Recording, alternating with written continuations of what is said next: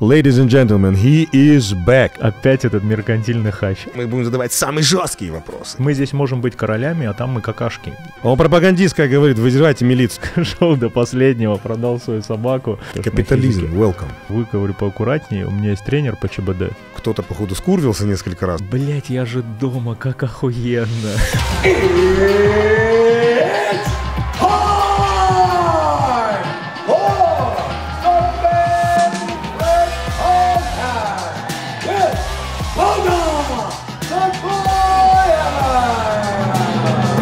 Hola, señoras y señores. Nuestro invitado de Main Event Podcast es Amiran, mi hermano Сардаров, а.к.а. Хач, а.к.а.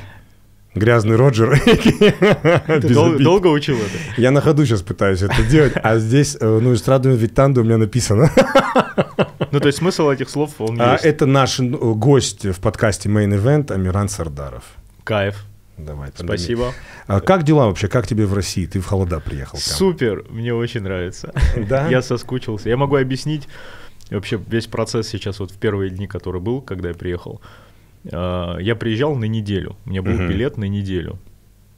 Повидаться с мамой, потому что я грин-карту получил, и из грин-карты ты уже можешь выезжать, а до этого времени ты не мог. Но Ну, это выезжать. отдельная поздравительная телеграмма тебе за грин-карту, потому что Спасибо. большое количество россиян, хоть они это и скрывают, Хотят, да. подают на грин-карту периодически на лотерею. Ну и в принципе, я думаю, хотят получить Но грин-карту. здесь есть и плюсы большие, и есть большие минусы, можем об этом чуть позже Э, Твоя поговорить. кепка зеленого цвета со смайликом, это как бы в честь грин-карты? Это типа плюс. green? Один из. Ага. И я приехал сюда повидаться с мамой, с самыми там близкими друзьями. И, и, и пос- Из Лос-Анджелеса Да, и прям. послушать свои ощущения. Потому что когда я там был, люди, которые там давно живут, иммигранты там более старшего поколения, они говорили, что мы там каждый четверг курим э, сигары и в покер играем. Мгм. И они говорят, что Амиран, ты сейчас вернешься, ты скажешь, блин, два года спустя, типа, блин, что это такое? Сыро, типа, холодно, э, пьют. Там, Все да. клише, которые в России есть. Да, все, сейчас это ты скажешь, блин, да моя любимая Америка, еще грин-карт получил, поеду-ка я обратно. Мгм. Вот честно говорю, на второй день в России я себе сказал, матом можно? Да, конечно. Блять, я же дома, как охуенно. Здесь должен быть бак-бак-бак-бак-бак, диджейский хорн такой. Да, и искренне говорю, это вот э, там сейчас вряд ли на этом подкасте у кого-то есть заинтересованность, чтобы я что-то пропагандистское да, говорил. Я вот сейчас делюсь Он своими- пропагандистская говорит, вызывайте милицию. А, не, наоборот, это же хорошо, да? Да. делюсь своими ощущениями. То есть мало того, что все, кто с кем я общался, не просто отозвались, а начали предлагать помощь, типа, Мгм. что ты хочешь, чем тебя поддержать. Блогеры, которые были в битве за хайп, еще там вот молодые, когда мы начинали эту движуху, э, ребята, которые у меня работали, продюсеры и так далее, все позвонили, сказали, Амиран, давай что-то сделаем, тебя тут ждут, и все будут рады, если ты что-то начнешь мутить. А у меня было ощущение, что два года спустя я здесь уже, ну, все, уже закрытая книга, Мгм. уже новое поколение пошло, это, ну, бывает такая э, Да. Тема. Популярность, это, знаешь, э, это вознаграждение и проклятие иногда, там у нее разные этапы Мгм. бывают. И я такой думаю, ну а почему нет? Там так тяжело все дается, плюс в 35, плюс э, языковой барьер, ты не Мгм. так хорошо говоришь. А здесь прям само в руки идет, имя еще работает, и возможности есть, и мне понятен рынок, по крайней Мгм. мере. Потому что когда ты там, тебе надо думать и тратить время, чтобы понять, как чувствуют там чернокожие, да, там люди. Латиносы. Белые, латиносы, да. А здесь я вырос среди кавказцев и славян. То есть я обе эти ментальности Поэтому ты не прекрасно упомянул понимаю. сексуальное меньшинство сейчас, что они потому что выросли кавказцев, славян. Ты говоришь насчет того, что ты сидел э, вечерами, э, там, э, иммигрантское сообщество раскуривало сигары. Да. Мой личный опыт такой, что... Кстати, пацанам огромный привет. Они все прям классно меня поддерживали и пытались э, помочь как можно скорее ассимилироваться. Дай бог вам здоровья за, ваши, за вашу культуру и гостеприимство, которое вы не забываете за океаном. Да, и сигары в были вас. всегда офигенные. Ваше здоровье. Э, На здоровье. Вот. А почему они говорят на здоровье, так и никто и не понял, да, походу, американцы. Так вот, мое наблюдение следующее. То, что люди, эмигрировавшие в 90-м году, условно, в 98-м, 2005-м, у них Россия остается, они же, как правило, в один Да. в конец бе- бе- берут билет. И первые их в- возвращения бывает на родину спустя там десятилетия, как правило. И в их головах, когда я с ними разговариваю, они э, мне рассказывают о России там 93-го года. Я говорю, да нету там такого, вы что, шутите? Ко мне подходит дру, моего друга отец, они в Сан-Франциско, там, куда с 89-го. И он так, я читал новости, что там в Питере мужик подошел, банальность, банальщина какая-то, там ножом угрожал женщине, забрал пакет. Я говорю, слушай, да вас страшно на улицу выйти, в принципе. А, допустим, как страшно в даунтаун Лос-Анджелесе, я не знаю, где в России так страшно. Э, кто-то там демонизирует Кавказ, что там, во-первых, Кавказ. А, ну, у нас нет такой преступности. Во-первых, там 340 миллионов, да, их на 200 миллионов больше, чем нас. Вероятность дурака встретить гораздо больше, чем здесь, в принципе. Блин, и... ты знаешь, вот когда там поживешь и здесь поживешь, да, э, не можешь уже сказать, что там лучше, либо здесь угу. лучше. Ты просто понимаешь, что это другая страна, другой мир, и там есть свои плюсы, здесь есть свои плюсы. Что касается жизни, там отдыхать, дети, чтобы там росли, да, это классная история. Субтропики, э, возможности, умная конкуренция – ну, много чего можно перечислить. Что касается России, вот э, там я понял абсолютно простые поговорки, которые mm-hmm. понимаешь их смысл только когда пройдешь через некие там сложности. Вот мы уже взрослые, mm-hmm. где родился, там, там и пригодился. Все. Ну ничего, ты не перепрошьешь себе мозг, это невозможно. Тебе нужно, даже если бы я продолжал бы там упорно идти там, да, рогами вперед, э, от 5 до 10 лет чтобы хоть что-то тебе там понять, в тебя начали верить, воспринимать и так далее. Uh, потому что вот ну сюда приезжает там узбек, таджик, там средняя средняя Азии кто-то, да, все. СНГ, да. Вот он через год он заговорит по-русски, заговорит, но восприятие его все равно будет иммигранта Средней Азии. Абсолютно. Мы да. точно так же. То есть мы здесь можем быть королями, а там мы какашки. Вот. И заново надо доказывать им всем, что ты да. чего-то стоишь. Я помню, это же до твоего отъезда ты был, в принципе, везде в топах, в популярном. И я помню, ты получаешь паспорт сколько-то лет назад и получаешь визу в Америку, по-моему. Как-то да, так. А, грузинский паспорт. У меня российского нет еще. А, грузинский паспорт. Эм, Гаморджабал. Эм, Гагимарджос. Гагимарджос. Я в институте, мне нравилась девушка одна финансовой академии, она была грузинка. Я друзей, друзей грузинов просил, назови, ну, научите мне пару слов. Я к ним подойду и скажу «Гамарджаба ламази гого». Класс. И она скажет, кто ты? И, и, и она скажет, где следующая встреча? А, так вот, о чем я думал вообще еще тогда. Я помню, опять же, я не пересматривал это по новой, но ты поехал, у тебя было с кем-то из ребят из России ты ездил, в, в Америку, там, Лос-Анджелес, Майами. Есть такое выражение, не путайте туризм с иммиграцией. Вот что такое было, да, когда ты первый это, раз приехал? Это, э, я этот анекдот слушал перед тем, как отъехать. Знаешь, когда в ад попадаешь, э, случайно, слышал про да, это? И типа человек расскажи. умирает, угу. попадает в ад, и его там встречают шлюхи, блэк джек, там все классно, он там алкоголь, вот это все, все дела. И я не понимаю, что случайно попал, типа, там, ну ладно, езжай, типа, обратно, живи. И потом он такой думает, а что я здесь живу, здесь ничего у меня нет, я лучше там обратно вернусь. И он себя сам угу. отправляет туда, и ему в котел попадает. Кирку сразу. в задницу, да, в котел прокрутили как следует. Он говорит, а что случилось? Говорит, это не то место. Он говорит, а ты не путай, говорит, иммиграцию с э, туризмом. Да, 100%. Ну, то же самое. Первые три месяца ты, у тебя... Эйфория. Эйфория, да, плюс э, багаж вот опыта, который у тебя здесь, ты думаешь, ну, если я там сделал, mm. если я там смог, то как, какие вопросы? Здесь э, условия это менее суровые в Америке, с одной стороны. С одной стороны, с другой более. С другой стороны, да, более суровые, потому что со всего мира туда приезжают и все хотят. Там итальянцы, а, французы, вот все хоть чего-то достигли у себя на родине, там классный ресторатор, классный там, я не знаю, продюсер, еще что-то. Они все приезжают, и, и мы рубимся, по сути. Да, да там все. жуткая конкуренция, и страна это построена на конкуренции. И, и, на тот, я, и на тот момент я начал ценить коллективизм, который в России есть и э, понимать, насколько сложен индивидуализм, который в Америке есть. То есть, да, если ты сам что-то сделал, ты взлетел, и вся Америка тебе поклоняется и говорят, ты смог среди 340 миллионов, да. А как-то здесь, знаешь, мы, как сказать, по-братски потихоньку все равно двигаемся. Ну, это есть, наверное, культурный шок, который мы там ощущаем, когда прилетаем. Первый раз особенно. Э, они разные этапы, абсолютно разные. То есть, знаешь, все время шок. От позитивного до, блядь, зачем я это сделал? Я помню, много лет назад мне кто-то говорил в этом, в Нью-Йорке, ты знаешь, говорит, я говорю, ой, как здесь классно, у вас такие небоскребы. И они говорят, через 2-3 месяца вот небоскребы желтое такси уже не увидишь, а Да. будут bill ы у тебя, вот они же постоянно bill, bill пришел, bill пришел, не Эдвард bill пришел. Bill и а taxes. Bill и taxes, да. Да. Это даже кто английский не знает, он знает bill и taxes, Да. Bill и taxes. Что касается вот минусов э, грин-карты, плюсы. Да, в любой момент в Америку Да. проходишь не вот эти огромные очереди, кто был э, в Лаксе, в аэропорте, они прекрасно знают, что LAX, что э, ты когда приезжаешь как турист, тебе нужно простоять 4 часа, чтобы пройти все контроли. С грин-картой ты проходишь за 5 минут. И там прям, наверное, вывеска. Да, грин-карт холдер, да. И что касается минусов, э, ты платить начинаешь налоги со всех своих бизнесов с любой точки мира. Уже имея грин-карту, не обязательно гражданство. Вот эти моменты надо прям точно прочекать, но я знаю, что эти сложности уже начинаются какие-то с грин-карты точно. А, а следующий этап уже паспорт.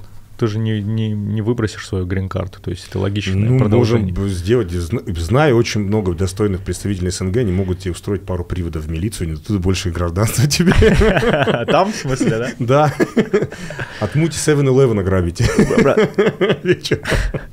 Give me your fucking money. Вот так, как индусы. Придержи эту услугу пока. А, Вообще, как-то сидели с друзьями, обсуждали.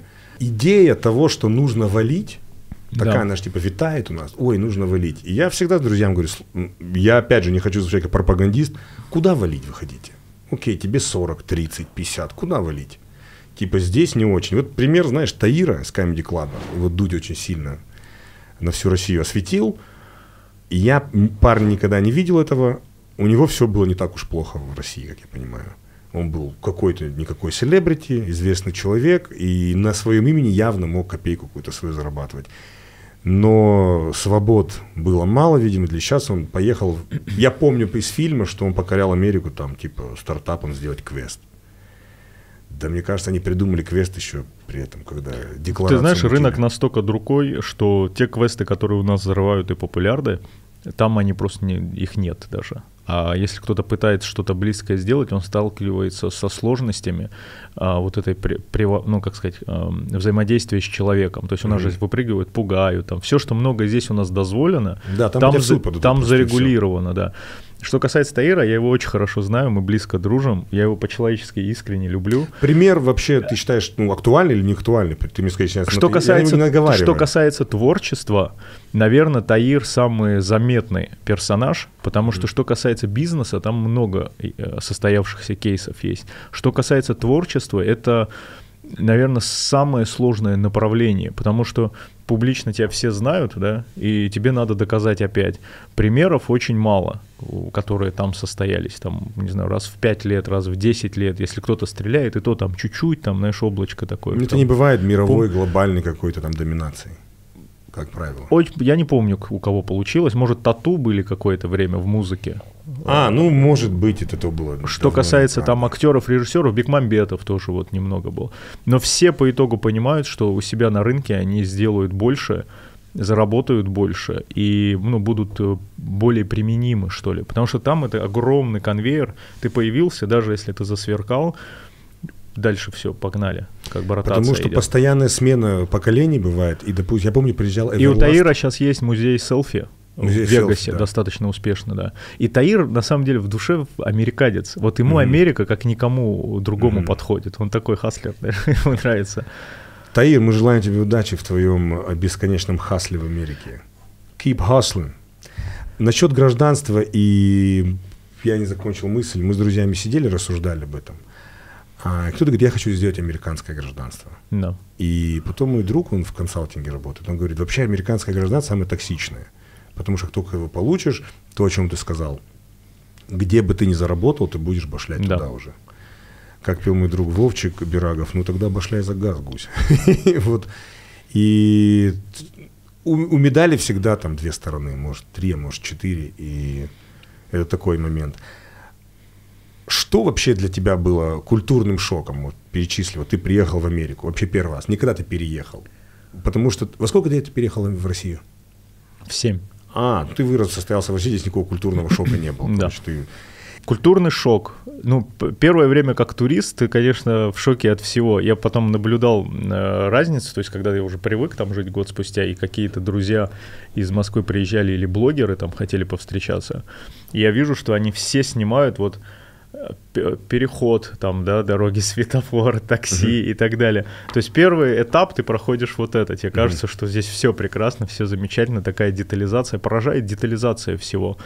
А, Как будто попал, попал в журнал, который в детстве смотрел, да, где все да, нету фишки. единого. Вот, вот у нас же есть сейчас некий стандарт в Москве, да, все в едином стиле. Да. Такое серое, там, да. Но это красиво смотрится. Это Москва, она там по-другому, наверное, и не будет играть. А там совсем другая история. Вот это первый культурный шок. Второй культурный шок то, что люди на улице могут себе позволить все, что угодно, и никто на это никак не реагирует негативно. Самовыражаться как угодно, вести себя как угодно, если это не нарушает мои границы и не угрожает моей безопасности, не касается моей личности, никогда не унижает. Делай все, что хочешь. Это второй культурный шок. Третий культурный шок. а, мы же про позитивное сейчас говорим, да? Да мы вообще подкаст за позитив. Да. А, Третий культурный шок, они все в целом очень позитивные. И на релаксе. И я когда пришел первым сначала драйвом таким московским, все, давайте там, цель есть, херачим, идем сейчас, раз уж так, что нам нужно, это, то. Там набрал себе мини-команду, и в выходные у меня там процесс же идет, Москва же не спит, да, no oversleep, у тебя работа ночью, днем, и если у тебя это твоя команда, вы вместе, она должна там подрываться, когда ты хочешь. А, я в выходные пишу там помощнику, еще кому-то, помощница, мне никто не отвечает. В, воскрес- э, в Америке. Да, мне никто не отвечает. В понедельник мне приходит ответ, да, добрый день, Амиран, типа, вы что-то хотели? Я говорю, что не отвечали-то? Он говорит, а в Америке в выходные Ты, никто не возьми, работает. работаешь на меня. Да, в Америке никто не работает. И вот эти моменты, они, знаешь, ты, ты начинаешь понимать, что твое представление о бизнесе, о мире, оно другое совершенно. А, Здесь по-другому все воспринимают, по-другому живут. Малейшая в Калифорнии попытка давления, типа, давай делать вот такое что-то, человек отмораживается, тебе не отвечает никогда больше. Так это именно и Калифорния, как я понимаю. Да. Вот, допустим, в какой-нибудь Джорджии это не так. Ты скажешь, чувак, давай-ка выходи в воскресенье. Он скажет, Да. окей, босс. В принципе, кстати, насчет того, что весь мир туда идет, э, в твоих блогах были девчонки часто, да, и, допустим, ты мог привлечь девчонок кого из бывшего СНГ, русские, Там. из Кав- здесь, с Да. Кавказа, бывшая СНГ все, Азербайджан, Армения, Узбекистан, а там ты можешь привлечь всех, белых, черных, красных, каких угодно. Я помню, в Нью-Йорке шел, я обалдел. В Москве очень много красивых девушек, а тут много разных красивых девушек. А ты прям- попробуй подкати к ним. И наша вот эта тема, она не работает. Не там. работает. Я заметил это. Не а, то, и- что- а если по работе тебе менеджер чек выкатит такой, что ты скажешь, мама мия, какие золотые времена в России у меня были. I'm celebrity back home, baby. Да. И я заметил, что когда ты подходишь, там, девушка, я прошу прощения, она прям вот типа отойди от меня быстрее. И бывает ощущение, что она еще и копа вызовет сейчас. Не то, что каждый день пикаперством занимался, но был какой-то опыт, просто заговори с Брат, человеком. я не знаю, как ты подходил, но ты знаешь, там были разные ситуации. В целом, если ты подойдешь, скажешь, у тебя классная жопа, они на, поржут над этим. А, ну нет, я А, человек а у, на- у нас, может, интеллигентный подход такой, знаешь, она сейчас думает обрабатывать. Маничелло начала. какое-то, да. Но потом я деньги занимал пару раз, может, из-за этого. Пару баксов не так на ход ноги. А где жил в Америке, где тебе понравилось больше всего? Я много где успел. Я в Майами пожил, там проект делал пощечины. А, Stone Faces. Stone Faces, да. Много сил потратил на это, денег. Stone Faces, переводя на русский, такое недвусмысленное название. Каменные правильно? лица. Да, каменные Ты- лица. вот так и повезло, что и здесь звучало это, и переводя там, американцы все сказали офигенное название. Типа, Ну, каменные лица, как я понимаю, в России вообще предыстория другая. Не пощечины. Пощечина, А, да? да. Сразу пощечина. Просто мы давали в купе сразу с другими шоу, и все начинают как-то... Или ты пошутить хотел? Нет, я не хотел пошутить. Я про каменные лица слышал много лет назад. Эта забава, она очень... эм, я боюсь сказать Расскажи. сейчас что-то резкое. Меня поругают дома. Мои родители могут посмотреть. Но, насколько я помню, каменные лица была связана с группой ребят Так, за столом. так. Вот, и одной девушкой под столом. И вот они играли в каменные лица. Да что ты, черт побери, такое несешь? Не понимаешь, о чем я. Ну, типа, у них каменные лица, А, а, Ты понял? И такое шоу было? Что касается шоу, я тебя буду спрашивать. Я никогда не принимал участие в никаких шоу. Слушай, а прикольная идея.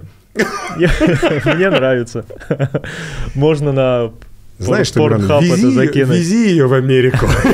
От нас передай А ты знаешь, что вот э, она уже не такая. Америка стала, э, как сказать, э, очень мнительная пошлым и жестким вещам. А- А ты почувствовал, так как ты жил в разных местах, вообще разницу между Калифорнией, потому что я думаю, что Калифорния это вообще а, в этот, житница всего, Вот как наш Ставропольский край, Краснодарский край Да. в сельском хозяйстве, вот в плане этих гиперсвобод, э, всего вот этого, что они делают с артистами там, как называется, какой-то у них есть движ, когда там, ну, когда они начинают банить чувака, как Кевина Спейси, Да, когда его отовсюду выгнали за какую-то старую историю. да.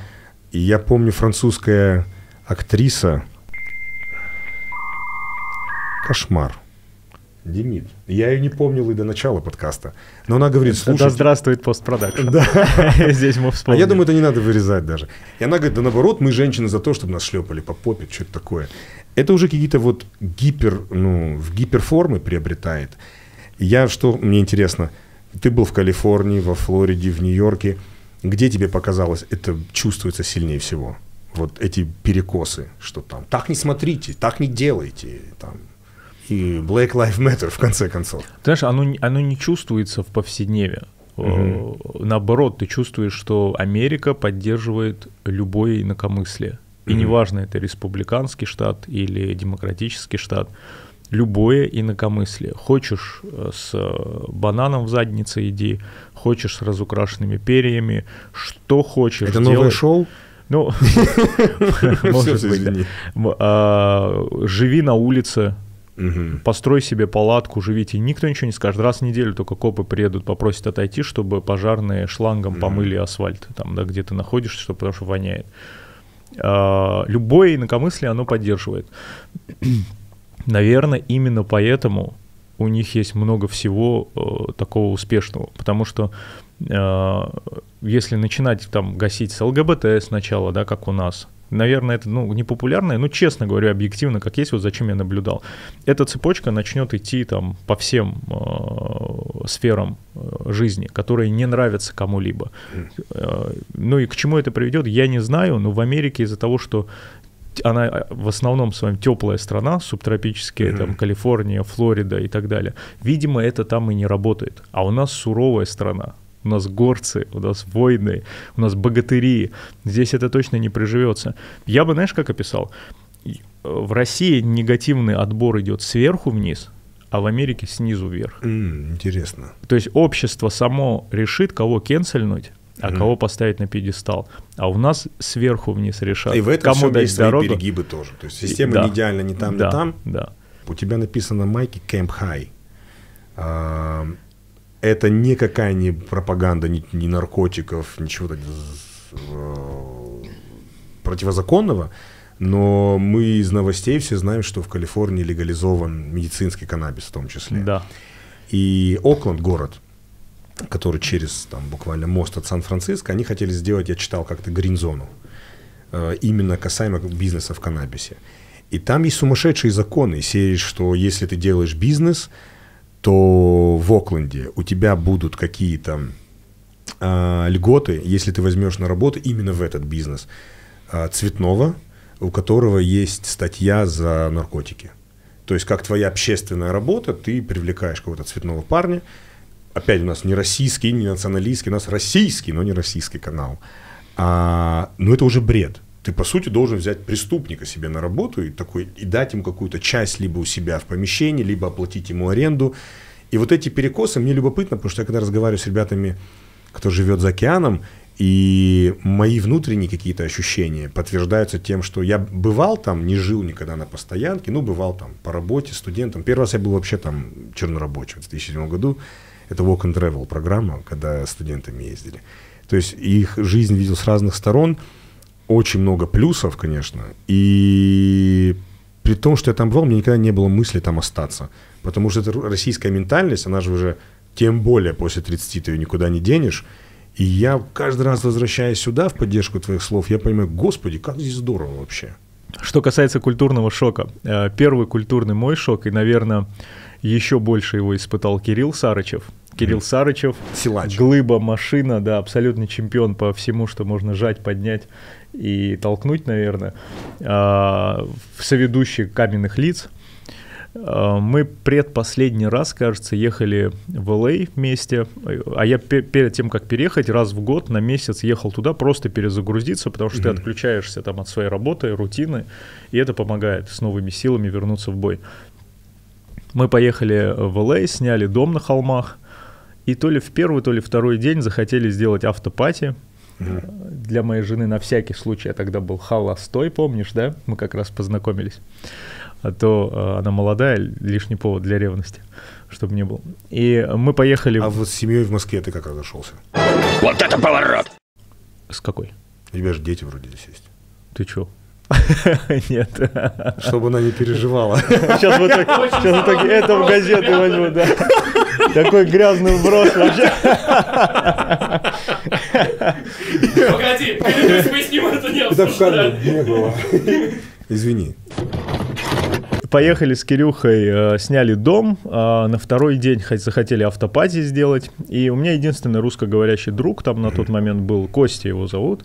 Он там давно живет, уже лет 7, что ли. Я ему звоню, говорю, Костяныч, я говорю, хотим автопати сделать, нужны девчонки. Такой, братан, вообще вопросов нет. А в Америке сложновато туристам девчонок найти Мгм. каких-то. Он говорит, братан, вообще вопросов нет, беру на себя, не парьтесь. Типа, мы с Кирюхой такие, ну классно. Я говорю, а что нам сделать? Он говорит, ну идите купите выпивку, типа, и закуски. Мы такие, ну хорошо, пошли в супермаркет, купили вот эти красные стаканчики, типичные Мгм. американские. Вечеринки американские. Да, все, что в голове с детства есть, решили в таком виде сделать закуски всякие, там Мгм. снеки, напитки, алкоголь, текила, виски, ну, в общем, все закупили. Приходим, ждем, сидим. Наступает вечер, приезжает Костя с тремя девчонками. Заходят э, в гостиную они. Одна была чернокожая девушка, другая очень милая, с милым лицом. И третья странноватая немного. То есть, ну вот это в глаза сразу бросается. Ты неё смотришь, она странноватая.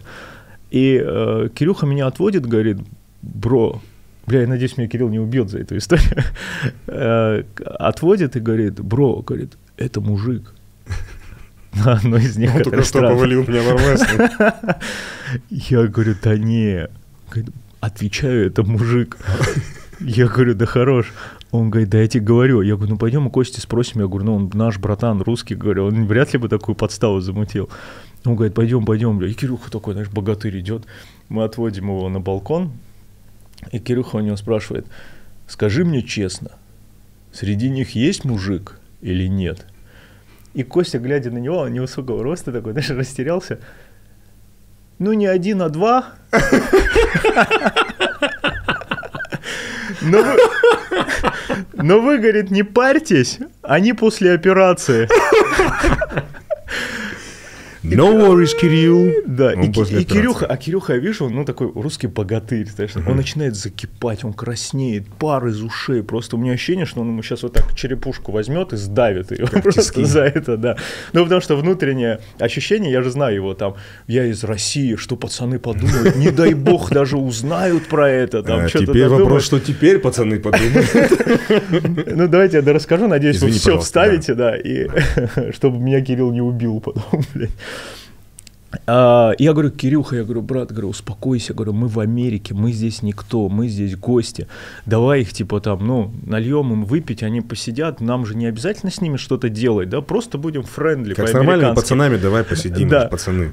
Э, Он такой, знаешь, кипит, кипит, говорит, ну хорошо, я, говорит, не могу так сидеть трезво. Возвращаемся, и Кирюха, там диван такой был, гостиная большая, а эти девочки и мальчики сидят на диване, я сбоку, а Кирилл на кресле прямо напротив них сел. И перед этим ему все время было интересно, наебал ли нас Костя, действительно они после операции или нет. И он садится, мы начинаем болтать, у меня на тот момент английский был не очень, еще хуже. И я смотрю, через три минуты Кирюха вот так у себя на груди засыпает. Вот, представляешь, огромный вот Да. такой чувак. Чуть-чуть похрапывает. И я про себя думаю, блин, слава богу, сейчас конфликтов не будет, проблем, я пока с ними поболтаю, и они уйдут. И я Костю спрашиваю, я говорю, Костяныч, я говорю, а, ну, а это, говорю, все, что у тебя есть, никто не приедет больше? Он говорит, не-не, говорят, еще две девчонки классные точно приедут, тебе понравятся. Точно девчонки? Да, точно девчонки, говорят, не переживай сейчас, говорят, а этих выпроводим. Я говорю, ну хорошо. Проходит там час, подъезжает, слышу, машина, выходят э, две девушки, спускаются. Это как раз моя жена, Маша. Будущее. Да, на тот момент знакомы? будущее. Впервые в жизни видели. Обалдеть. Это моя жена и с подругой э, Ками, которая номер один, э, двойник Ким Кардашьян. Она даже играла в шоу, как ее первый двойник, Офигеть. самый, самый похожий. Они спускаются, она армянка, кажется, по-русски говорит, ну, то есть наши все. А они спускаются в гостиную по ступенькам, и в этот самый момент Маша встречается со всеми глазами, Кирюха резко вот так просыпается, вот так. I have a question. Do you have a dick or not? Он говорит. Это слышит Маша. Что делает Маша? Она такая вся легкая, знаешь, ребенок. Здрасте, здрасте. У меня там, кстати, другой автопати, вы извините, я опаздываю. И уходит. Все, вот так мое знакомство было с моей And женой. by the way, no. А эти сидят, как бы, да, просто в шоке, знаешь, просто в шоке. Они не понимают, как на это реагировать. Типа, это какой-то русский бык, он же убить еще может, раз он не постеснялся такой вопрос. Да. То есть, а, а ты что понимал, ты же там был, то есть в таких тусовках они настолько деликатные, все нежные, такие, знаешь, сладкие, просто там. Отрезать член можно, спрашивать про это нельзя. Да, да. И я думаю, блин, вот мы попали. Я сразу начал думать, сейчас приедут копы, нас начнут судить за харасмент какой-то, знаешь, давление, еще что-то. Но Кирюха, знаешь, не- сконфузившись и вообще не, не растерявшись, он продолжал спра- спрашивать, типа, I'm so interesting. Do you have a or not?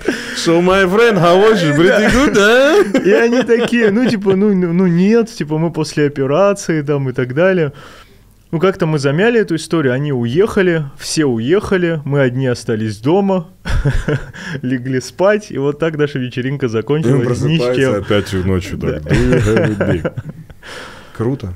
Классная история. Это, А, наверное, вот, э, как сказать, э, такая витрина Америки, одна из, которую, когда ты только там оказываешься, вот тот самый культурный шок испытываешь, про который ты говоришь. Потому Да. что мы не готовы к этому совершенно. Вообще, и не факт, что мы будем готовы через 5 лет и через 10 лет опять, Ну. в- к нашему разговору, что у них это естественная эволюция.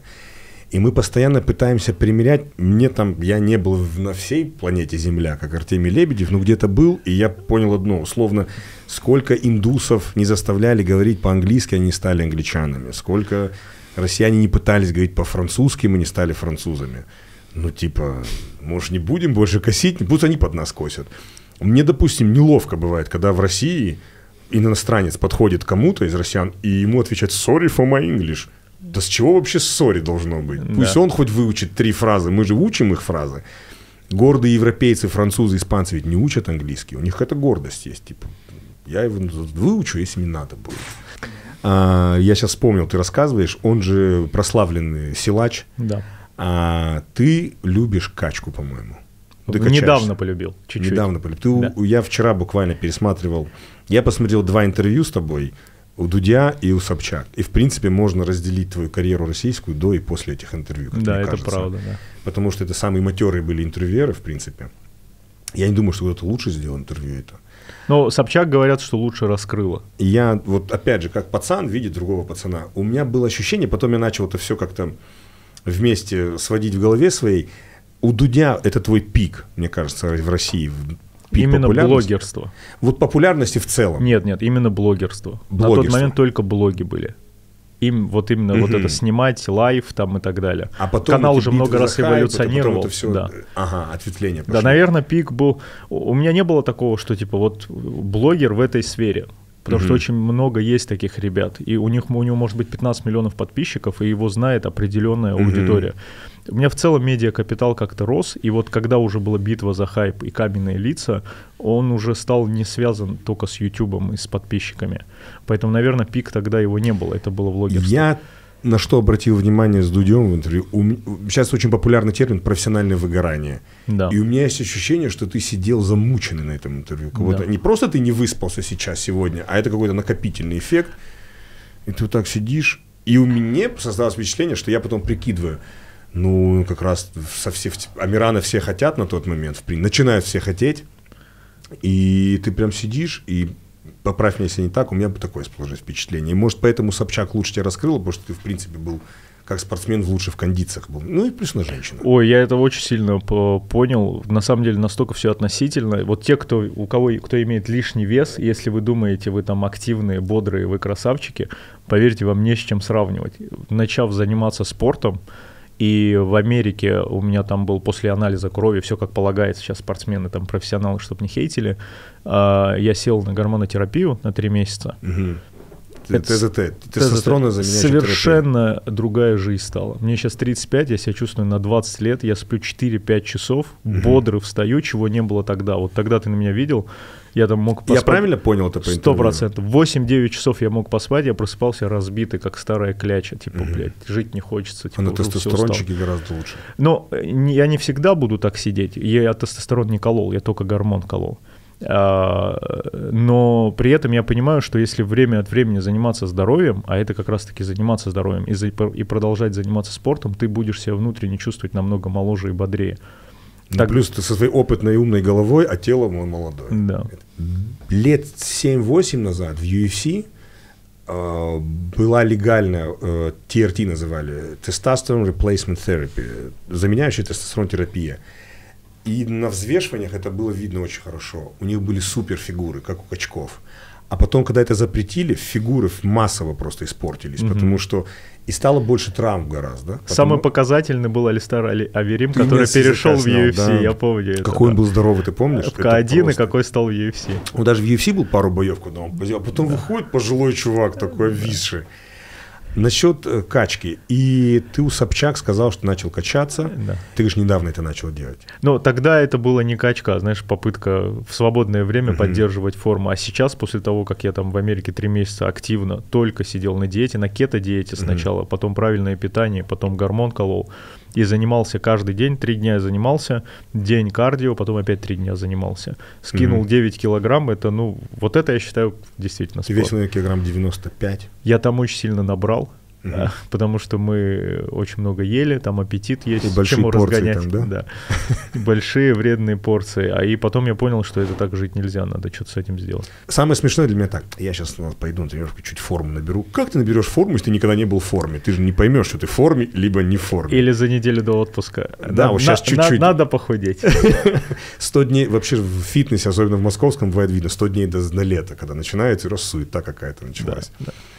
А- И, и эти абонементы растут в продаже. Как горячие пирожки, начи- акции начинаются. Ты, наверное, ходил в какой-нибудь Виннис... А, или пандемия, наверное, ты не смог покачаться. Нельзя, да. Я ходил в какой-то... А, я в Экванокс ходил, не знаю. Это Это реклама, с- не реклама. элитная. Это как у нас... Equinox, хотя бы сотню скиньте нам. Это как у нас World Class. Да. Типа самая большая сеть. А что ты вообще по фитнес-индустрии думаешь? Мы через фитнес-индустрию потихоньку дойдем, наверное, до боев. Где круче? Ну, опять же, Москву, наверное, мы берем... Мос- Москва — это отдельно от России. К сожалению, надо рассматривать любую, Да. любую индустрию, которая в России развита. Фитнес в России супер крутой. А в Америке что скажешь? Потому что он принципиально чуть разный. Он очень доступный на всех этапах. То есть там уже много теннисных кортов бесплатных. Мгм. То есть это же субтропики. То есть если человек каким бы видом спорта не хотел заниматься, ему это доступно. Или стоит это 3 копейки в год совершенно, там, не знаю, там, 100 долларов. Для американца 100 долларов в год это ничего. Они, мы за парковку можем в течение дня поездить, 120 долларов заплатить. Что, наверное, не сильно дороже, чем в Москве в два раза, если с центром сравнивать. да. Да, но дорого. тем не менее, там вот это вот такие деньги. По- Поэтому, не знаю, что касается сервиса, наверное, Москва рулит. Э, Что касается доступности и возможности позаниматься чем ты хочешь, наверное, Америка здесь впереди. От, от бейсбола, американского футбола и всего остального. Я обратил внимание, когда подлетал э, к Лос-Анджелесу и смотрю в иллюминатор, я обалдел, какое большое количество Полей, подтверждение да. твоих футбольных полей, баскетбольных, американских, ну, теннисных кортов, и ты понимаешь, что в каждом этом районе по несколько штуках. У меня в голове, как у россиянина, что теннисом заниматься для ребенка очень дорого. Дорого, да. Типа, ты что, богатый, чтоб теннисом заниматься? Я мечтал в детстве теннисом заниматься, но у мамы не было возможности даже ракетку купить. Там, Я и думаю, не то, что форму. 99% россиян не имели возможность заниматься теннисом, в принципе. А там, до сих пожалуйста, пор. просто иди 3 доллара, 5 долларов в кармане, ты можешь И теннис тебя играть. могут еще заметить. Сейчас, кстати, выходит же фильм этот, э, «Кинг Ричард» с Уилл Смитом про Мгм. сест- С сестер Уильямс. Уильямс, да. да. Кстати, мне кажется, будет, это Я не знаю, ему надо делать камбэк или нет, и Уилл Смиту, мне кажется, будет Уиллу. Смиту очень тяжело, Э, На сегодняшний день? да.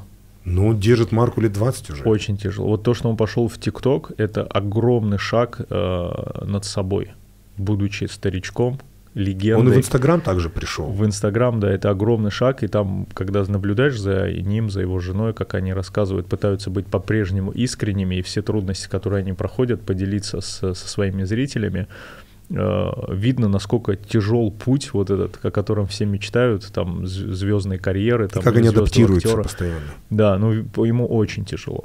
Очень тяжело. Ему по-прежнему надо своим молодым детям доказывать, что он пример и что он не сдулся. И плюс у них, наверное, какая-то внутренняя в семье конкуренция, если они там все в поисках Оскара или Грэмми, там они же и Да, поют, и играют. Ты упоминал э, в интервью э, про детство свое, и в принципе я тебя встречал несколько раз в жизни, много мы никогда не общались, ну и свое впечатление максимально адекватного, спокойного, не знаю, мирного парня. Но твое амплуа онлайн вообще же другое. То есть, если бы я тебя никогда не видел, я представлял бы тебя вот такой кутила, к- кавказоид, Неадекватный там. тип Ну, какой-то. неадекватный. Адекватный, который там, ты будешь с ним в компании, он тебя будет троллить, он будет шумный, Да.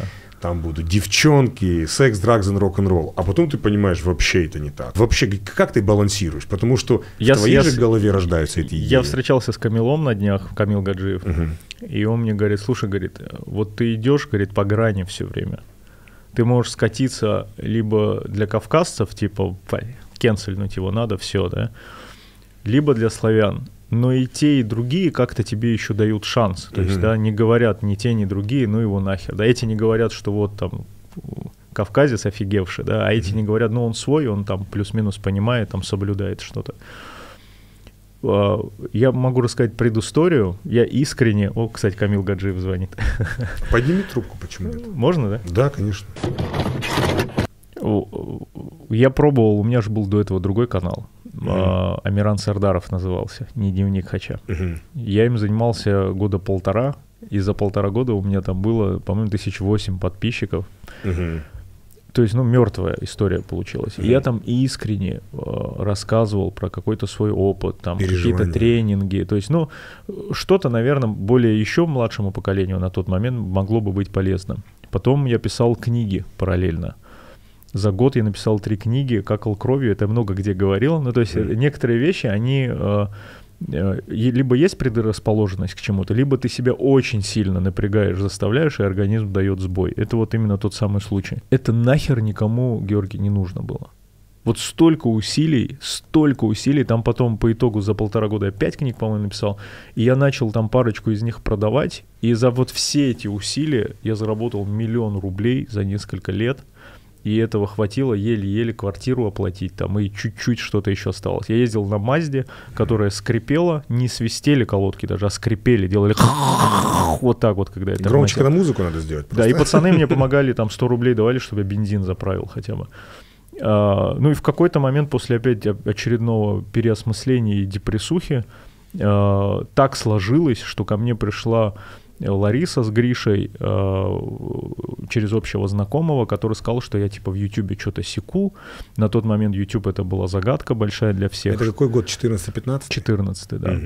А, И э, она говорит, раскрути моего сына, он очень такой симпатичный пацан был, 16 лет, и очень хотел звездности. А сами они с очень богатой семьи, с Хабаровской, у. Гриша дедушка там хабаровский олигарх был.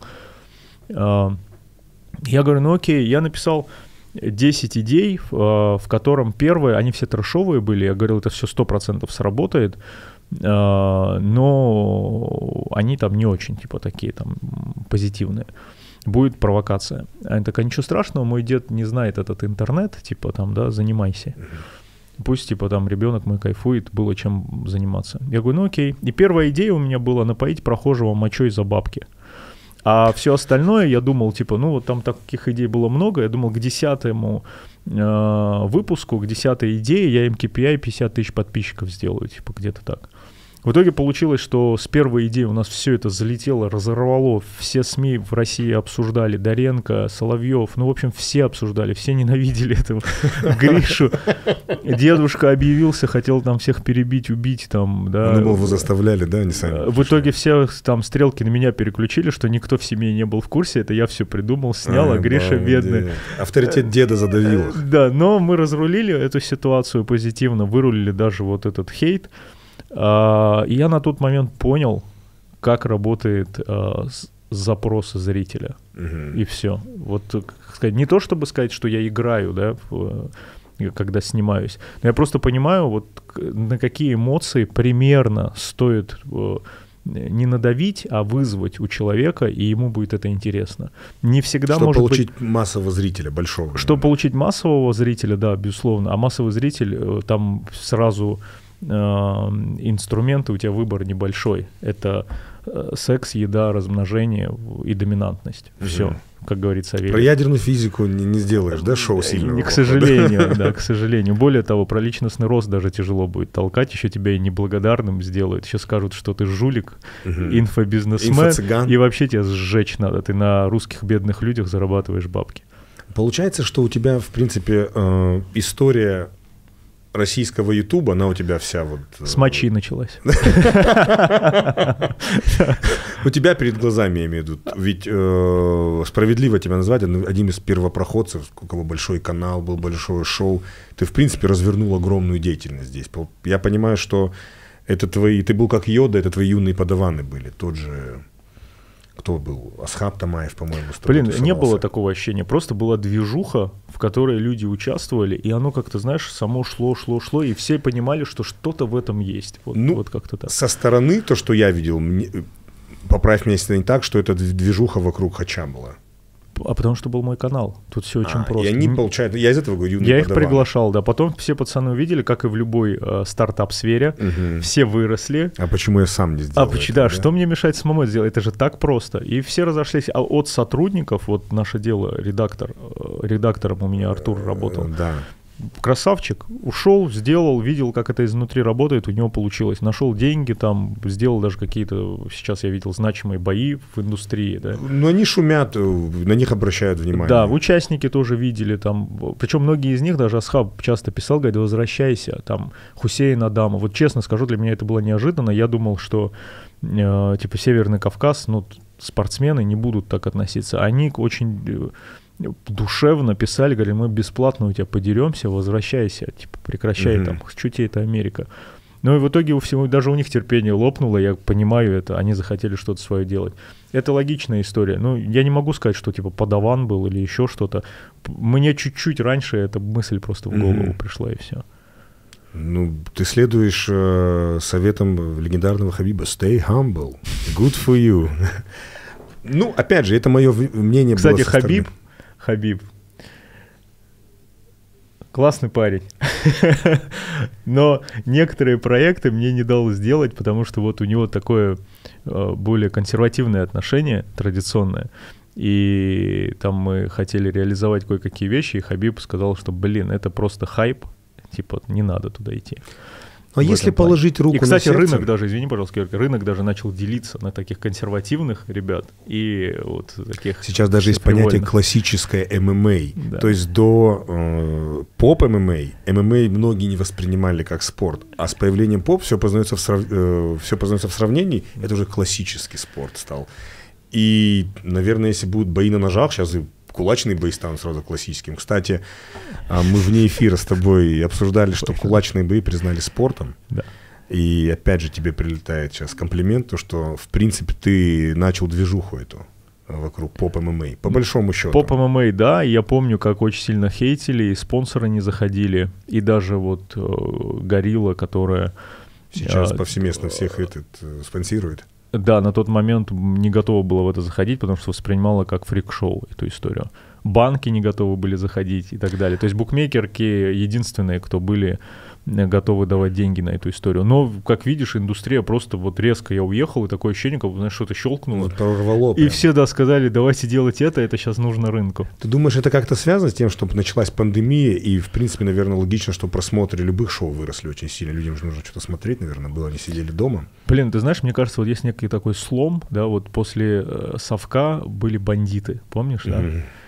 Там воры, Да. бандиты, вот эта вся история, у них была сила. Э, То есть каждый раз как будто какой-то каждый какой-то проходит цикл, и людям нужно выхлопнуть, куда-то выпустить пар, и это происходит разными способами. Вот сейчас то самое время, когда люди хотят видеть мордобой именно, знаешь. И это пройдет, и Мгм. придет опять позитив, я уверен в этом.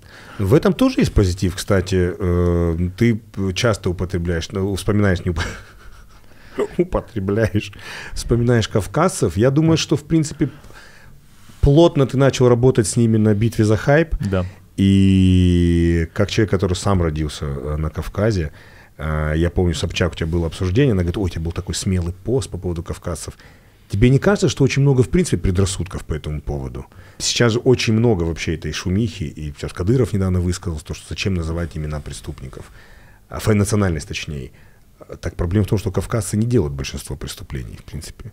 Они, может быть, грубые снаружи, но добрые внутри. Я думаю, что вот поп ММА их как шоуменов раскрывает очень сильно, потому что, в принципе, разговор, я предполагаю, в Махачкале, в Грозном, в Нальчике, в Назране, в Владикавказе, где-то на углу это комедия. Там Да. сидят чуваки, человек 5-6. Готовое шоу. Это готовое шоу, причем кто первый вынесет на нормальный экран, оформит это все. Это как кейпил будет. Да. Потому что приколы, которые у кавказцев бывают, это золото. Это на камеру никто не скажет. Покруче любого барата. Сто процентов этот чисто comedy клаб идет. Потому что я вырос вот в таких компаниях, когда ты приходишь и начинает вот сейчас роуст батл. У меня роуст батл был круглые сутки. И если ты ростишь еще плохо кого-то, тебя прожарку такую отправляют самого. Вау. И поп ММА не всех, много таких мужланистых, грубых типов, э, вот таких. Про них не берем. Ну, прям прикольных ребят, они прям смотрятся в кадре, они как этот, Смотрятся, они только недавно начали щупать YouTube. да, да и, сейчас- соцсети в целом. И, и первые, естественно, кто начал щупать? Те, кто духом сильный, там Да. ничего не боится, не, не думает, да, дерзкий. Мгм. Я думаю, там будет вот следующие этапы тоже они придут. Если обратишь внимание, среди вайнеров, пранкеров тоже появляются сейчас кавказцы. У них там по 100, по 50 тысяч подписчиков. Но это уже сигнал к тому, что э, Именно многонациональная история, она придет в социальные сети. У меня была вообще гипотеза, то, что вот, эм, это распространенное такое клише, что кавказцы шумные, а у- все люди плюс-минус одинаковые. Да? Ну, это не клише, давай будем. Есть такие, но они бывают очень яркие. Я подумал, что очень много кавказцев может э, вот именно шумных вот этих. Я бывал у вас в гостях в Осетии. Это Северной. вообще история такая интересная. И я там был вот за большим застольем, там были разные э, люди, там от чиновников Да. до местных Спортсменов каких-то спортсменов, уважаемых местных, людей. Это было шумное застолье. Ощущение было, как Ну, будто веселое. я на свадьбе. Супер веселое, супер позитивное, супер дружное. И ко всем гостям относились очень э, с большим глубоким почтением. Это в- высказывалось и в э, тостах, Мгм. и в, просто в личном общении. Безусловно. Но все равно мы, вы умеем в этом плане шуметь. Так я подумал, что очень многим кавказцам э, подойдет sales, продажи, потому что когда ты шумный, навязчивый такой, ты будешь продавать хорошо тогда. Сто процентов. И, может быть, надо им осваивать продажи. Мы вернемся сейчас... э, И закон.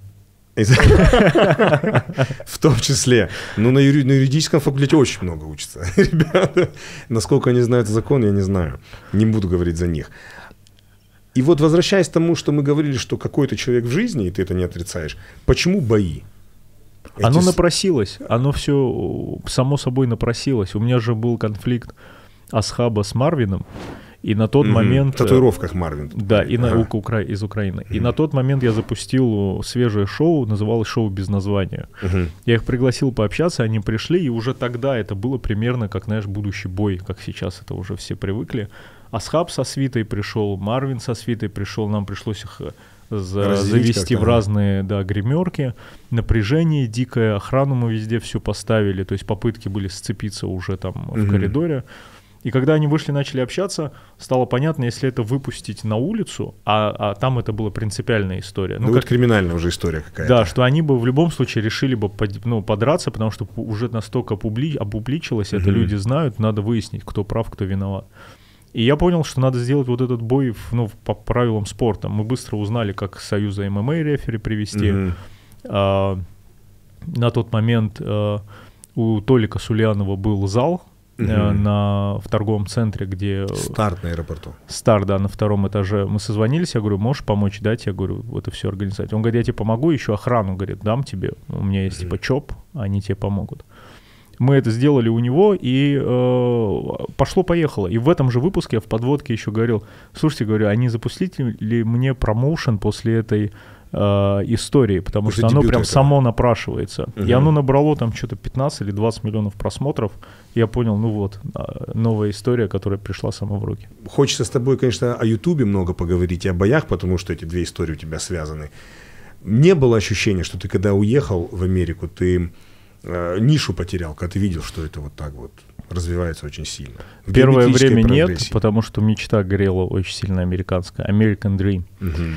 А потом, когда я понял, что ну все неподъемно, очень тяжело, была мысль, а вот что бы я сделал сейчас? Вот если бы я вернулся в Россию, чем бы я попытался удивить? Потому что так получалось, что карьера росла таким образом, что я создавал что-то, что сначала воспринималось в штыки, а потом становилось трендом. И э, я сейчас думаю, блин, наверное, от меня такого же чего-то будут ждать. Вот есть некая идея, я сейчас пытаюсь ее там склеить, собрать, если получится, и это зайдет, я буду очень рад. Дай бог, чтобы зашло, это связано со спортом, наверное, Да. и с Ютубом. Да. Потому что на мне сейчас тройная ответственность, и это очень сильно давит. Типа, знаешь, все хотят камбэка такого, что прям Мгм. опять нашумело. Я такой сидишь, думаешь, блин, как вас удивить, ребята, уже столько всего на YouTube. А в какой момент это отрезвление в Америке пришло? Потому что я знаю, что Америка на пятую точку очень так э, жестко может А посадить. по всем фронтам финансовые э, расходы там все дороже намного. Э, по неудачам, когда у тебя здесь череда успеха, ты Мгм. начинаешь думать, что ты особенный, там, да. Мгм. Ты можешь себе позволить любую любую историю, и ты, она у тебя получится. А когда у тебя там череда неудач, условно, как у любого бойца, вот у него будет там пять поражений. И он придет к выводу, что надо завязывать. Все, это не его история. Почему не поперло в Америке? А, вот как здесь я начинал, приведу пример. Там я начал что-то снимать. Какая-то аудитория на дневнике Хача начала появляться. Ты приходишь, начинаешь говорить, я вот там снимаю это, у меня есть аудитория, можно ли с вами по бартеру это? Ну, то есть по крупицам это все собирается.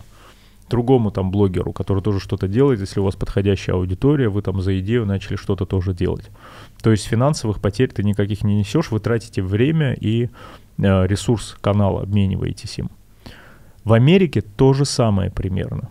Но проблема в другом, когда ты приходишь, э, не говоришь на английском, когда ты иммигрант, и даже если они знают твой бэкграунд и делал там мировую узнаваемость шоу с пощечинами, они сначала тебе рады, там э, позитивно тебя воспринимают, но потом вы садитесь разговаривать, о чем-то договариваться. Вот, допустим, ты американец, да, я пришел и говорю тебе, давай сделаем подкаст.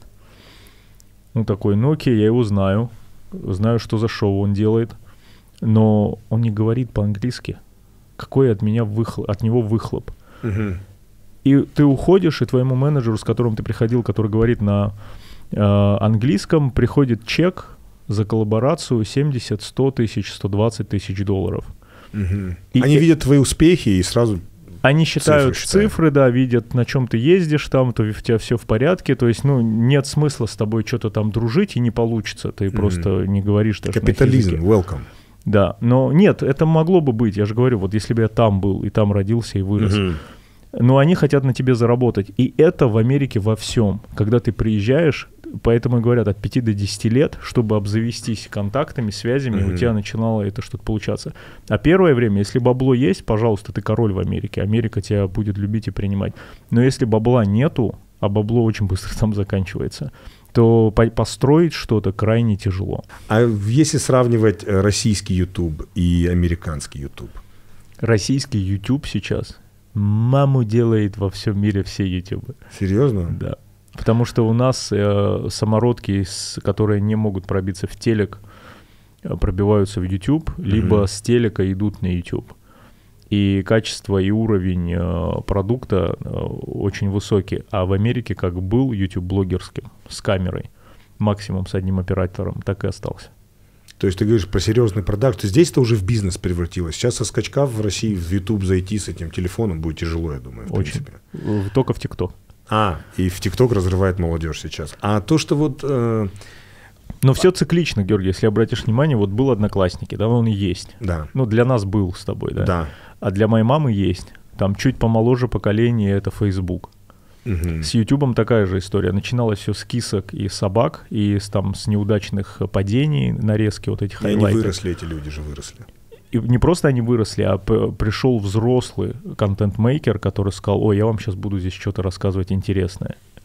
А, И сейчас аудитория Ютуба, она стареет, тоже как на Фейсбуке и на. Одноклассниках. Хоть сейчас там цифра все еще безумная, 2,6 миллиардов, по-моему, Ютуба аудитория. Но э, весь драйвер молодежи пошел в ТикТок. Соответственно, с Ютубом произойдет примерно то же самое, что с э, Фейсбуком и Одноклассниками. А в ТикТоке появится э, свой хач, свой дуть, своя редакция. Но И длинные видео появятся. и- уже 10 минут есть. Мгм. А было 15, потом минута стала. Потом Мгм. 3, пока я в Америке был. Сейчас 10 уже минут.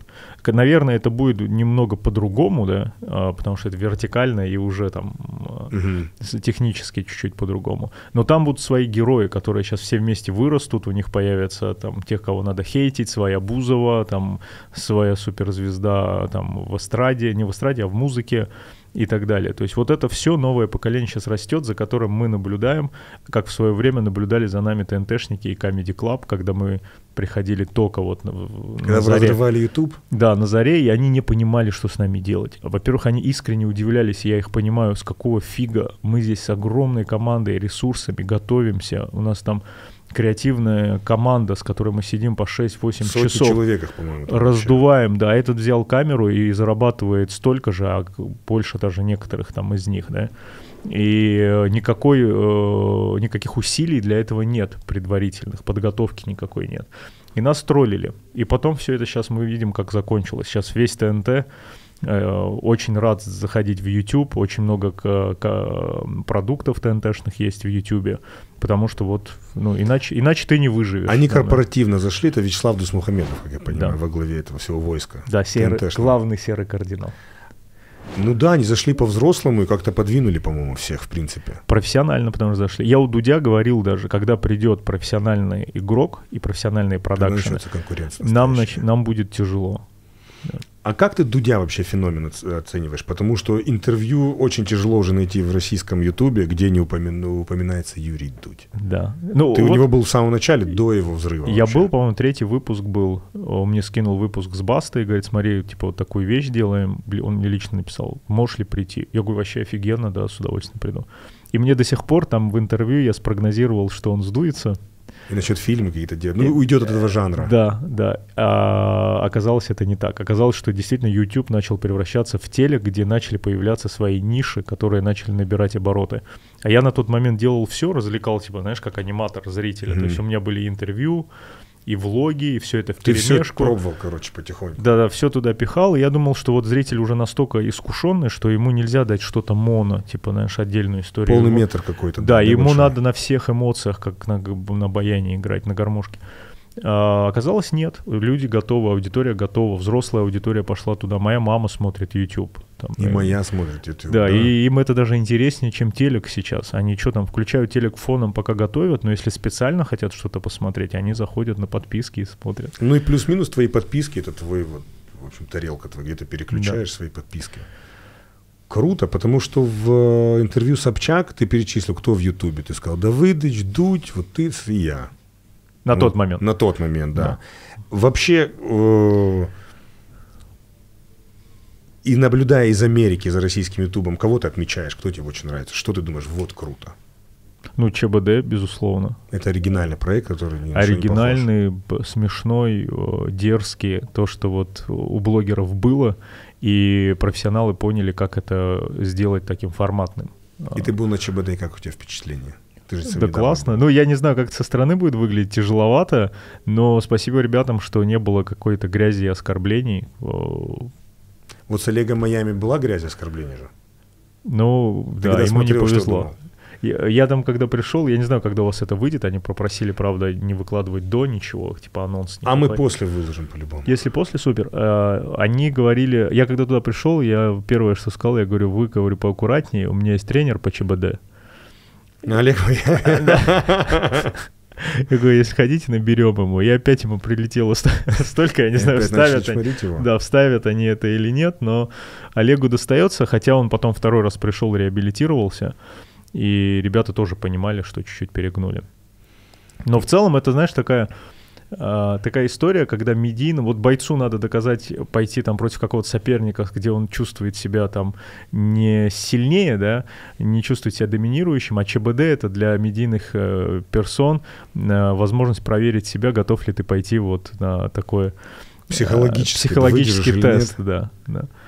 Ну, наверное, сказывается то, что 5 против одного в любом случае. И Как, тяжело. как и в реальном бою. Но это Да. прикольно, это мне Мгм. нравится. Есть такая тема, а, мы часто это обсуждаем. Вот есть интервью, это мы, значит, мы с тобой сидим, так, Амиран, где ты родился, сколько тебе лет, сколько зарабатываешь, тоси, Да. тоси, боси. Подкаст это же больше э, Беседа. беседа. И а, я огромный фанат Джо Рогана. Самого вот, как хипстер, так я с самого начала там. Знаешь, за сколько он продался недавно? 100 миллионов. Да, мотивация как тебе? Демотивация или наоборот мотивация? Мотивация? Мотивация бомба. ОКО, Иви, МТС, Сбер. Ссылка в описании. Ссылка в описании. Мы готовы за 100 миллионов продаться. Именно вам. Но там же интересный кейс, что э, кто-то критиковал эту покупку за 100 миллионов долларов, а потом, я забыл этого журналиста, он посчитал, как акции Spotify выросли на этом всем. Мгм. И то, что Spotify заплатил Рогану 100, И при этом он все равно договорился в YouTube выкладывать себе. он клипы выкладывает, и плюс Spotify выросли акции в разы, и стоит они сколько-то миллиардов на этом сделали. Ну, не только поэтому. Там еще много разных причин. Но Я он, думаю, это в конечно, да. целом очень Он привел им история- интеллектуальную публику, которой не так много в Америке. Мгм. А Spotify это вообще шведский, оказывается, шведское приложение. М. Я помню, когда он, по-моему, переп... так я следил за тобой и за ним, и ты же видишь комментарии тогда, кто, если ты с кем следишь, комментируют друг другу. И я помню, он выставил пощечины, и ты ему пишешь, Джо, со своей странички, может, не ты писал, типа, DM, там, почитай ди- ди- директ. Он ответил в итоге или нет? Нет. Джо, мы со своей огромной аудиторией просим тебя ответить, наконец-то. Ты знаешь, уже нет смысла, но я просто понял на тот момент, я не знал подход, э, как вести, э, как достучаться до тех американцев, которые в этой индустрии в спортивной многого достигли. В итоге Дана Уайт потом сам написал, а Джо Рогану сейчас, я понимаю, не очень корректно написал. Он достаточно состоявшийся человек, а я ему написал как э, американцам, которые привыкли все время спрашивать, типа, какой бюджет? Мгм. Я ему написал конкретно цифру, типа, выйди на связь, я тебе заплачу столько. А, так ты еще... О, И, и мне потом сказали, что так нельзя с ними. Тут как бы те, кто спрашивает бюджет, это корректно. А когда ты уже состоявшемуся звезде говоришь... а, Называешь типа, прайс сам. Да, называешь прайсам, это некрасиво. А с Даной Уайтом как у вас общение прошло? Вообще, это смешная история. Я никому не рассказывал, как оно началось и что мне пришлось использовать. Но если хотите, вас тут расскажу. Раз дело С такое пошло. После Кирилла Сарычева уже ничего не- страшно, блин. А, Когда Джо Роган выложил, многие паблики начали в, в Америке выкладывать, очень многие. Вот сейчас Хазбула также на всех этих Мгм. пабликах, где пощечины выкладывали, он в Америке есть. И в ТикТок пабликах и так далее. И мне Дан написал в директ, а я в этот момент был в стриптиз-клубе. Мгм. И английский мой был очень плохой. И он мне говорит, можем прямо сейчас созвониться, у меня типа есть желание тебе предложить кое-что. Я говорю, да, конечно, у меня началась паника, а мы там чуть-чуть выпили. И я зову менеджера и говорю, у тебя есть тут кто-нибудь, кто говорит на английском? Он говорит, сейчас поищу. Она уходит, приводит девушку, топлес голая, она садится. Я говорю, как тебя зовут? Я Чё-то- только разговариваю на ну, английском. как-то да, да, не помню уже, там, ну, Оля, допустим. А, и она сидит такая, что-то знакомится со мной. Я говорю, ты по-английски говоришь? Он говорит, ну да, в совершенстве. То есть она думает, что я к ней подкатываю, Ага. то есть особый фетиш. Я говорю, хорошо говоришь? Она говорит, да. Я говорю, ну супер, пойдем со мной. Потом спускаюсь вниз, я понимаю, что сейчас там холодно, ну, прохладно было, да, уже поздно ночью. Она а внизу, да, внизу там в коридоре не особо ловить будет. Я говорю, иди оденься. Она говорит, ты меня забираешь? Я говорю, иди оденься просто. Сейчас я тебе скажу, что мы будем делать. Она одевается, спускается. Я э, звоню Дане на номер, который там есть, ставлю громкую связь. Я ему говорю, типа, мой английский очень, типа, плохой, у меня сейчас переводчица будет, я тебе буду с ней разговаривать. И мы на улице стоим, стриптизерши разговариваем с Даной Уайтом. Это чистое предприним... это дух предпринимательства, который ты привез из Москвы прям туда. Крутая история. А, и в итоге договорились о чем-нибудь? Да, мы с ним встретились в Л.А. через месяц в отеле э, на Беверли-Хиллз. Э, У переводчиком у меня там уже был Таир Мамедов. Вау. Мы вместе сидели. Out, Да, и он мне помог очень сильно. Мы пообщались, но не договорились. Он потом дал генерального директора Fight Pass. Мгм. Он предложил мне там условия определенные, но мы не договорились, потому что авторские права хотели забрать, и деньги, которые они предлагали, для меня не деньги были важны. Мне хотелось выстрелить именно в Америке. Мгм. Но этого шанса бы не было, потому что в любой момент меня могли выкинуть. Я А уже Они права хотели забрать себе, потому что на файт-пассе у них на все. И даже Мгм. архив, который у меня был, тоже купить и принадлежал бы им. Если по- ты помнишь, по-взрослому они зашли. если ты помнишь, в свое время они так забрали э, в Японии, где Pride. Федя дрался, Прайд, Да, использовали Pride. тизеры с архива, а Прайд убили. И запретили промоутеру сколько-то лет вообще выступать, делать бои. Да, да. Ну, максимум прогресс, который у нас был в переговорах, мы долго постоянно бодались, разговаривали. Ну хорошо, ты в России у себя делай, а на весь мир ты не можешь. Ну, и я тут уперся. Я вспомнил историю Сильвестра Сталлоне с книгой «Рокки», что он шел до последнего, продал свою собаку. Вот, но как бы я так далеко не зашел, пришлось вернуться в Россию, но на тот момент у меня такие мысли И были. ты ему сказал, как Сильвестр, it ain't about how hard you hit, it's how you can get hit and keep moving forward. А, блин, круто. Я однажды был в Вегасе, это был 13 год, и мы шли в казино в MGM с другом. И как бы, да, бывает эм, строительство, там, типа леса какие-то делают, вот такой туннельчик небольшой по, по, по тротуару. И мы идем, и там толпа людей. А как раз бой завтра Андерсон Сильва, Крис Вайтман. Это был легендарный upset. И мы проходим с другом, и я смотрю Дана Уайт в окружении этих фанатов. А он тогда постил в Твиттере, в Инстаграме, я раздаю там пару билетов на ивент, буду там-то, там-то. Кто первый Да. прибежит, я ему даю. И я обалдеть, говорю, живой Дана Уайт. Но с точки зрения бизнеса, как мне кажется, они более конкретные, чем мы. И, в принципе, говорят, как есть. Давай, дай мне права, все так, так, так. Ну, короче, у них никаких... Все четко, да. Доброе Все утро, четко, добрый жестко, и нету вот этого у нас. Нам давать шанс. Неловкости какие-то, да. Обосрался нафиг с рынка, все. И если что, тебе сразу дадут контракт вот так. А вообще история, когда начиналась у тебя с боями, с Ютубом, какие-то контракты ты подписывал? Допустим, я же мог, как молодой блогер, к тебе прийти, ну, там, как пиявка присосаться, там, пиариться за счет тебя, то все, там, все посмотреть у тебя, потом сделать свой канал уйти.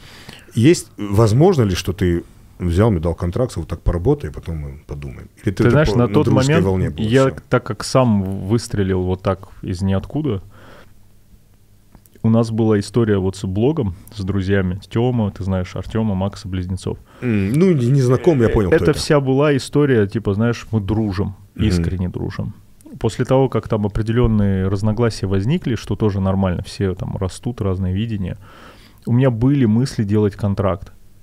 Э, Но я потом как-то к этому отнесся, что я беру в рабство человека, даю ему возможность, и дальше он должен всю жизнь отрабатывать. И зная, как другие продюсеры э, постоянно воюют со своими артистами, а артисты их ненавидят дико, я к этой истории так и не пришел.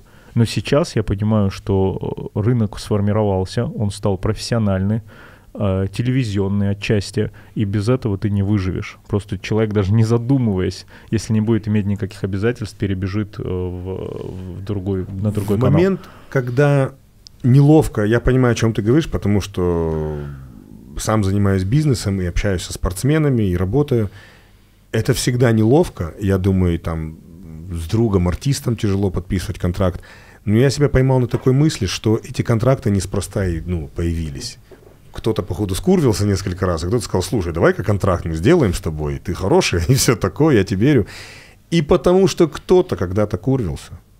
Теперь есть эта система контрактов. Хотя люди продолжают курвиться с контрактом или без. Но у нас менталитет другой. Согласись, даже если есть контракт, решаться будет не по У меня одна контракту, просьба, скорее всего. одна просьба не раскрывать э, условий нашего контракта. Хорошо. И сколько миллионов долларов ты запросил за это? Или дал нам, я не знаю. Ну, там были миллионы долларов. Опять этот меркантильный хач. Всех поимел, там всех Из заработал. того, что ты говоришь, и в принципе, вот э, ты говоришь, там ждут очень сильно твоего камбэка. Я думаю, что, учитывая, что твой взлет был стремительный и быстрый, ты очень много э, шишек набил и многое узнал. Плюс потом у тебя был... Вообще, я когда учился в бизнес-школе, приветы Сколково MBA, Full-Time MBA 4, ребята, мы последние из Магикан. Часто там у нас вели постоянно за, зарубежные проф- профессура вся, из топовых бизнес-школ. И, как правило, когда мы э, обсуждали какой-то очередной кейс, они говорят, если не сломано, не чини. Там условно, вот работает у тебя бизнес, несет тебе копейку. И пока ты, грубо говоря, из этой скважины все не достал, не беги к другой скважине. Ну, по- по- по- по-простому вот так. Тебе не кажется, что этот принцип чуть нарушил ты, когда в Америку ехал? А он всегда у меня был такой. Я не знаю, что сделать с, с моим организмом. Он у меня всегда такой неусидчивый, Стартапер неугомон- в душе, ты постоянно Вот тебе кажется, творить. что я спокойный, на самом деле я вообще не спокойный. Мне огромных усилий требуется, чтобы даже в таком состоянии сейчас находиться. И это сильно, очень сильно изматывает. А, а желание постоянно... Ну вот ты сделал, да, и тебе кажется, блин, ну ты это уже сделал, зачем тебе опять дальше этим заниматься? Ну окей, я еще это поделаю, а хочу еще что-то удивить Мгм. сделать. Я вот сейчас вижу со стороны э, Моргенштерна, Алишера, да, Мгм. офигенный пацан, э, степень выгорания, каким образом сейчас происходит. Он дал за два года или за сколько, за три года все, что можно было дать. Он мог пять лет или семь карьеру себе вот так держать, примерно на одном уровне, выпуская это чуть Тем реже. более он молодой парень вообще. Да, но хочется, вот если есть этот драйв, и тебе хочется прям Запал. делать, да, надо делать. Ну, его не уберешь, не, не- нету у меня такой структуры в голове, знаешь, мозги не работают так, так. Сейчас я распишу и буду делать из этого бизнес-план, процессы, здесь это, там это. Это творчество. Либо тебя прет, и ты делаешь Мгм. это, э, и, и пользуешься моментом, ну, либо это не будет такое яркое, это будет что-то Ну, это смелый подход очень. Не знаю. А, как говорил Стив Джобс, э, хвала безумцам, э, смельчакам и так далее. Ты в Да. любом случае красавчик, я тебе искренне говорю. Стив Джобс у меня на обложке компьютера всегда. Выдающийся человек. И мы с тобой до подкаста говорили, э, пользуясь случаем, хочется тебе, в принципе, пожелать удачи в твоих начинаниях. Спасибо большое. И всегда камбэк – это гораздо круче. Э, Мой брат Суслан Джанаев, он капитан Сочи команды, вратарь. Я не знаю, вы пересекались или нет, но Суслан э, легенда по мне российского футбола. В чем суть? Мы вообще с параллельных классов. В десятых, в начале, в десятом, одиннадцатом играл в «Спартаке» московском. Московский «Спартак» не любит кавказцев, насколько знаю, фанаты, фанаты их.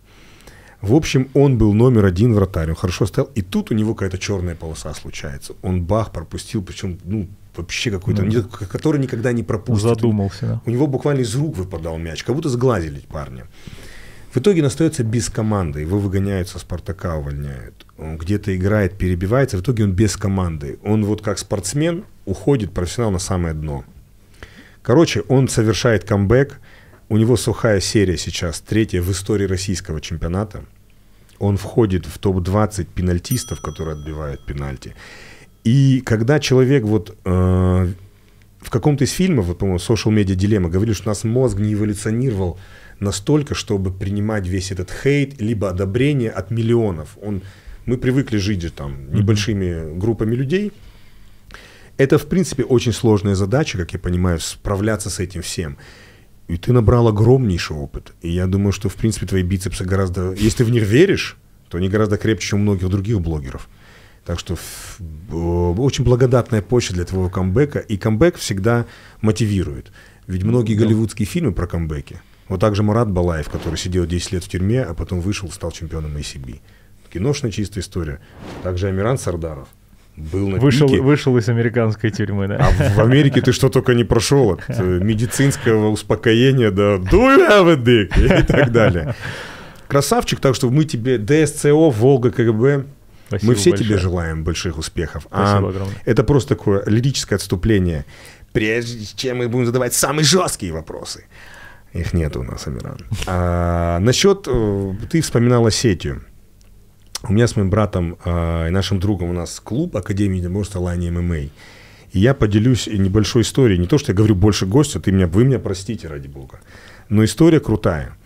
Значит, три или четыре года назад, наверное, три, а, Артур Таймазов, депутат Госдумы, друг Амирана, а, трехкратный олимпийский чемпион, а, делает открытие Таймазов Тим, своей команды профессиональной по вольной борьбе. Кстати, представитель команды уже за сборную России Заурбек Сидаков в Токио стал олимпийским чемпионом.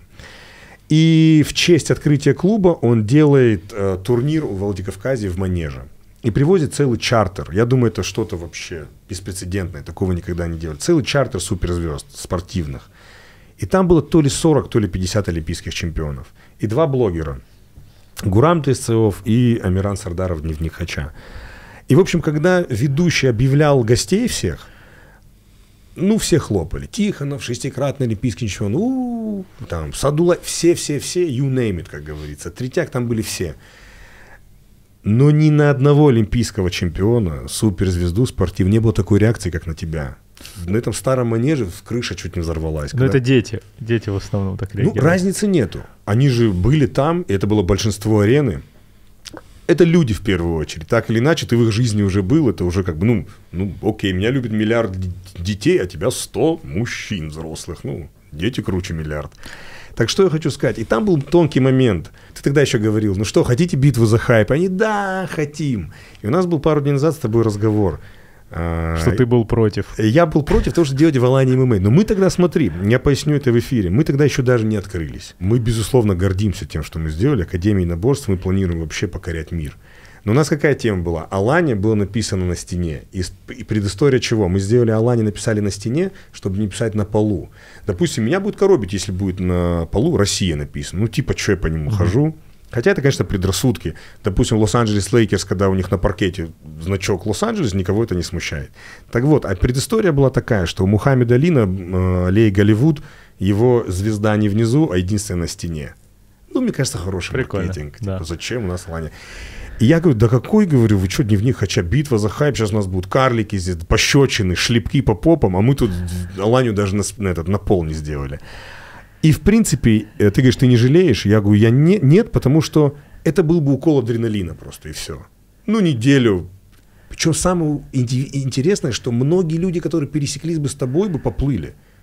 Вот, я думаю, ты замечаешь, ты Поплыли психологическую... в плане было бы толчок? Психологически то, что, в принципе, слушай, я парень там, из небольшого города, тренирую, примеру. И тут мега, супер, пупер, миллионник, десятимиллионник, вот со мной на фотке рядом. Слушай, да я тоже, походу, что-то себя представляю, раз уж такая движуха, здесь олимпийские чемпионы. Все должно быть вовремя, как мне кажется. Потому что для простого человека, когда приходят звезды, селебрити, YouTube, и вот он, ты живой, да, походу, жизнь вообще не зря прожита у меня.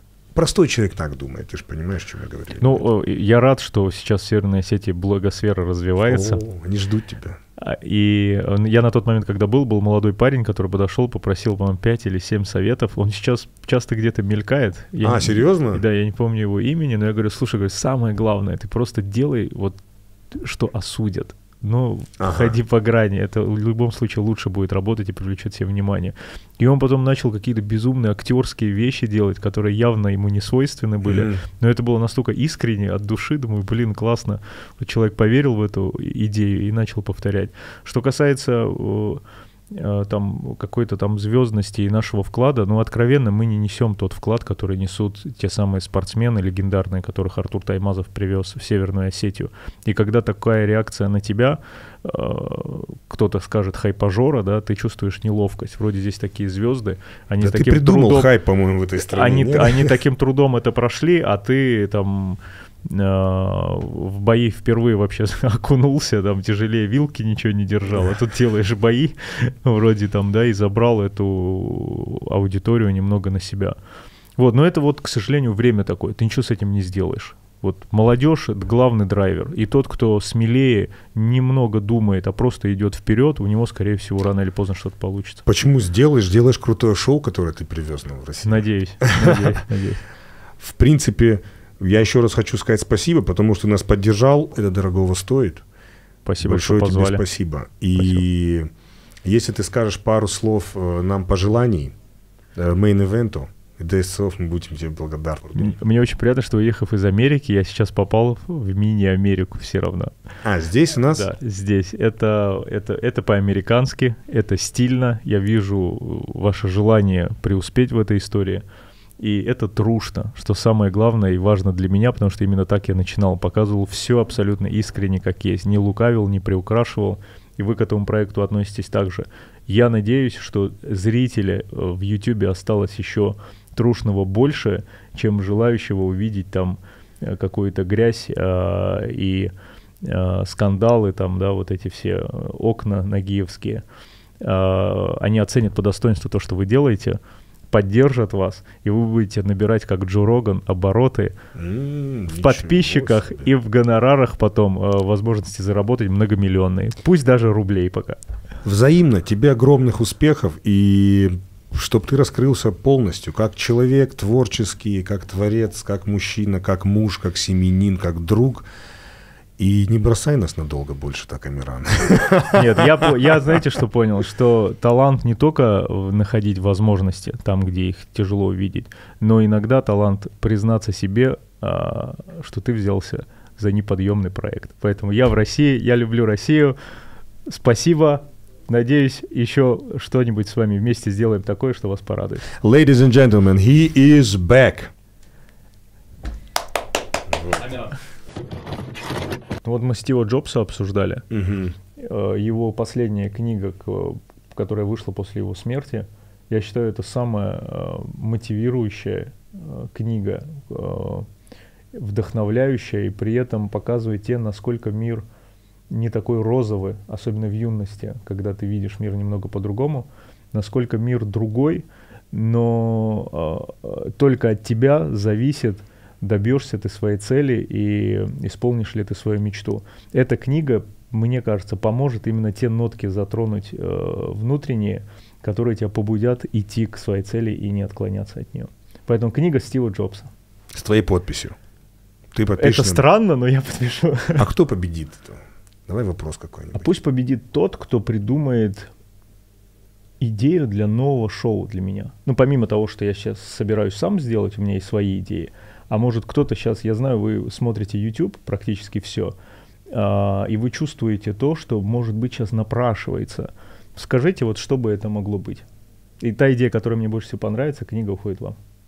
Так вот же, в самом начале предлагали Stone Faces, но только другой вариант. Да, но это, А, это ну не не на YouTube. Это- Вы хотите книгу забрать, да? Конечно.